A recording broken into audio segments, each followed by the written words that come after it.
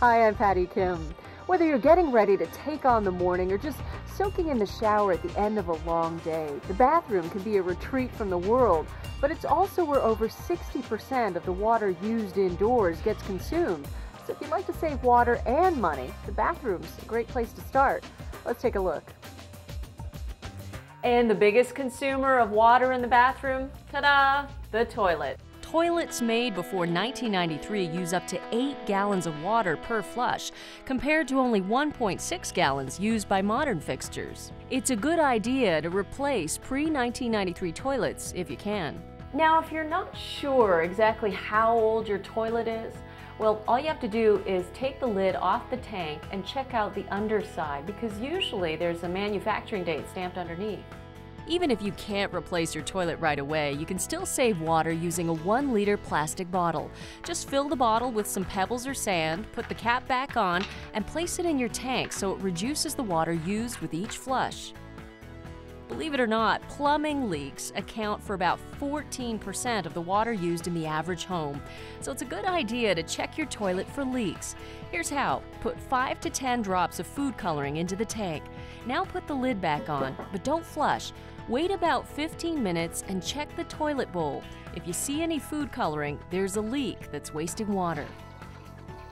Well, a steaming hot shower can certainly be relaxing, but it also happens to be the second biggest consumer of water in the bathroom. Shower heads made before 1992 can draw up to five and a half gallons of water per minute. So check to see if your shower head is old or new. Simply turn the shower on full blast, catch all the water in the bucket, and wait exactly two minutes. If the bucket is overflowing, then the shower head isn't a low flow model. New shower heads start at around $10, and installing one that draws 2.5 gallons or less per minute can save you 50% with every shower. Now, faucets also have flow rates, and if you take a look at the screw on tip, called the aerator. That'll tell you exactly what the flow rate of your faucet is. Now, if you suspect that your faucet's a water hog, all you have to do is unscrew the aerator and take it to a hardware store and match it to a new aerator that's the same size. The most efficient models have flow rates of no higher than one gallon per minute. Now to find the last water-saving device in your bathroom, just look in the mirror. To save water, all you have to do is learn these few easy tricks and you're on your way.